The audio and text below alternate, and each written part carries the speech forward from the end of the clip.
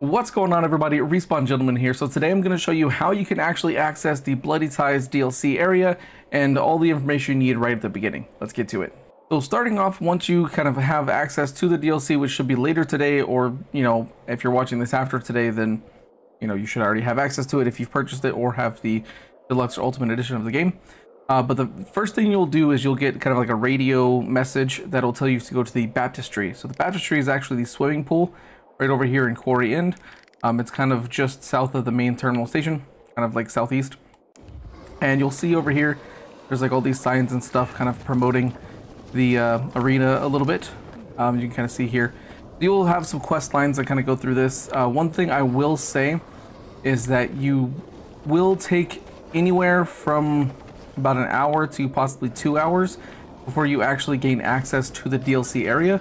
Now you could get it done faster, but just from what my experience and what I've heard from others, it can take roughly about that amount of time to get through all the quests that you need to get through um, in order to access the DLC area. Now, I would highly recommend waiting to start this DLC until after you've reached the central loop, because although you can access it as soon as you complete the Only Way Out mission, which is the ver very first mission after the prologue, um, there will be a time where you do have to go over to the downtown area in order to climb a tower. And uh, if you don't have access to the downtown area, it's going to be kind of difficult to do that. So I would highly recommend waiting until then.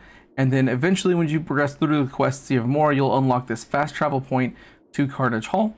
And then I will go ahead and uh, basically, without kind of giving too much away, uh, there'll be this van that you can go to and it opens up to a completely separate area.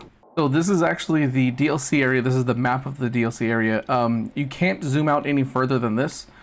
So this is as far as you'll go and you can't kind of go further than these little borders. So you can't see Villedor on the map itself. But if you kind of come to this area on the map kind of towards the bottom, you can actually see the VNC tower. So this does put the DLC in Elysium. However, this is the only accessible part. You cannot go outside of it, at least from initial looking at it. You can't go outside to get on these bridges and kind of explore. It's basically you have this whole area on the outside and the inside of the arena, and that's it. You cannot go outside of this at all. So this is what the area looks like. If you want to get back to Villedor, you just need to go right back to the van and you can switch back to Villedor. So you're not stuck here once you come here. You can go back and forth. Um, like I said, there's areas to explore outside, uh, and then this is what kind of what it looks like on the inside, just to show you a couple things here. I'll go into more detail on this on other videos, um, but you can see just kind of the way this one looks. Like I just I don't know, I really like the way it looks. I think it's super cool, a nice area. All the the bright colors, flashing lights. um, kind of like you can see like people are being entertained.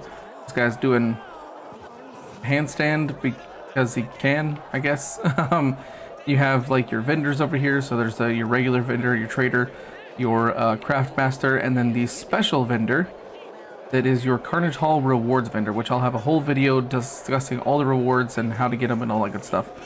Um, and then just kind of exploring this first area, uh, you'll unlock kind of more areas to go as you go through the DLC.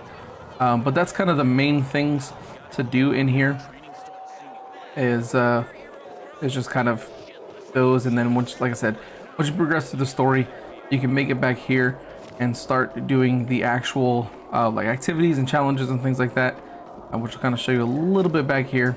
Um, again, I'm not going to really show you too much because again, that'll be for more videos. Um, but yeah, this is kind of what the whole area looks like and um, personally I think it's really cool. It's filled with a lot of NPCs. I like the design of it. Um, I think they did a really good job with the way this one looks and the fact that they kept it a separate area means that they didn't have to add more assets to the actual map, which would mean that it would probably break the game even more. So uh, I'm actually kind of glad that they didn't break the game. So far, I haven't really experienced any bugs with the game, but again, that's there's another video I'll talk about, uh, kind of a whole review of the whole thing. But yeah, this is what the DLC area looks like. If you enjoyed this video and you want to see more Dying Light content, make sure to like and subscribe. Thanks for watching. See you guys next time.